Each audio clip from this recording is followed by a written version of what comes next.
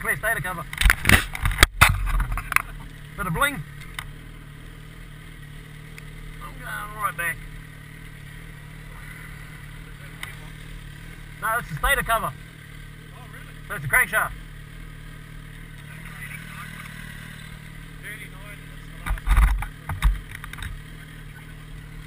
Thank you.